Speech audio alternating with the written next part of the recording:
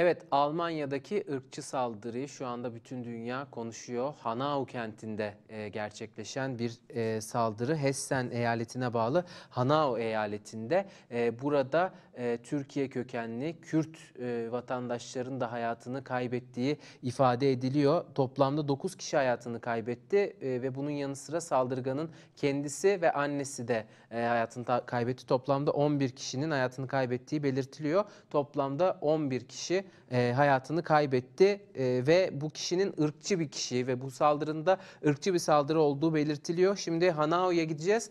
E, Hanao Alevi Kültür Merkezi Başkanı Hasan Aygün hattımızda kendisiyle değerlendireceğiz. Hasan Bey merhaba, hoş geldiniz yayınımıza. Merhabalar, hoş bulduk. İyi akşamlar, Evet. iyi yayınlar. Çok sağ olun. Öncelikle geçmiş olsun dileyelim sizlere. Teşekkür ediyorum, Ee, sağ olun. Bugün bununla ilgili protesto eylemleri de gerçekleştirilecek. Irkçı bir saldırı olduğu belirtiliyor. Çeşitli detaylar ortaya çıktı. Ee, devlet yetkililerinden yapılan açıklamalar var. Neler söyleyeceksiniz bu saldırıyla ilgili? Son durum nedir?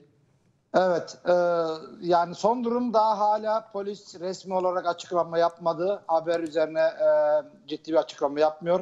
Demokratik kitle kuruluşları başta a, Almanya Sendikalar Birliği olmak üzere e, Sol Parti, Demokratik Kitle Örgütleri birlikte biz Alevi kurum olarak ve Kürdistan Toplum Merkezi, e, Ağırlar Derneği, farklı kurumlarla beraber e, bu olayı değerlendirdik.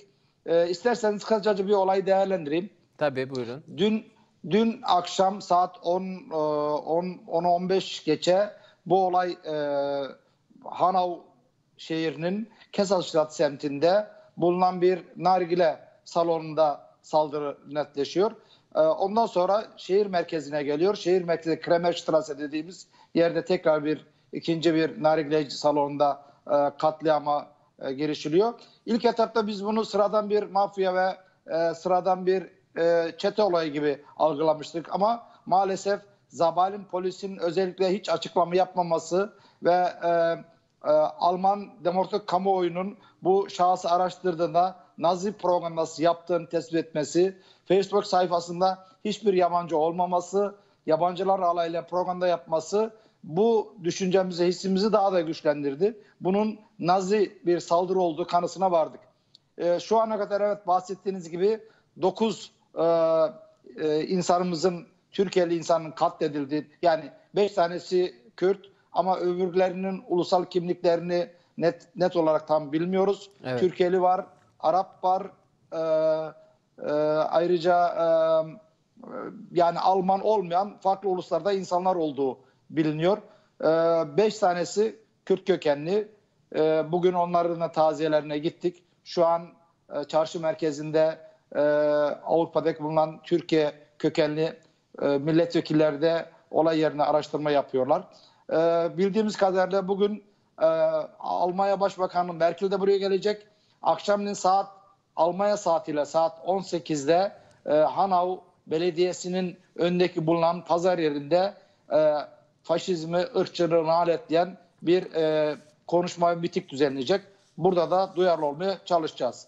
Evet, e, böyle bir e, buluşma da gerçekleştirilecek. Şimdi Merkel'in bir açıklaması var. Bu korkunç cinayetlerin tüm arka planlarının aydınlatılması için her türlü çaba sarf edilecek. Irkçılık bir zehirdir, nefret de zehirdir. Bu zehir toplumumuzda vardır. Vatandaşlarımız arasında ırk ve din ayrımı yapmıyoruz dedi Merkel yaptığı açıklamada. E, Bu saldırı Almanya toplumunda, Almanya basınında nasıl yankı buldu? Ne tür açıklamalar geldi? Oradaki havayı da bize biraz anlatabilir misiniz?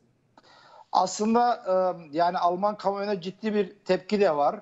Yalnız şöyle bir şey e, açıklama ihtiyaç duyuyorum. E, biliyorsunuz bundan iki hafta öncesinde Hessen bölgesinde Alman istihbarat örgütü camilere bombalı saldırı yapacak diye birçok Nazi e, sağ e, e, örgüte mensup insanları tutukladı. Ama e, neyse ki Hanau'da hiçbir tane tutuklama olmamıştı. Bugün özellikle Alman basında yerel anlamda ben e, okuduğum ve takip ettiğim şöyle bir şey var. Bugün bu katleme yapan şahsın 43 yaşındaki Alman'ın aslında 4 yıldır takip edildiğini Alman istihbarat tarafından da bilindiği yazılıyor. Ama hala ne hikmetse e, Alman e, e, polisinde onunla ilgili herhangi bilgi direkt açıklama yapmıyorlar. E, ciddi bir kamuoyu tepkisi de var. Ve bugün özellikle tanıdığımız Almanlar e, bu acılarını bize bildirmek için biz de bir Alman olarak bundan utanıyoruz dediklerini biliyoruz. Ama maalesef Hanau'da e, yabancı nüfusun çok yoğun olduğu bir yer. Yani bu tür e, şeyler e, katliamların geleceğinin korkusunu biz her zaman yaşıyorduk.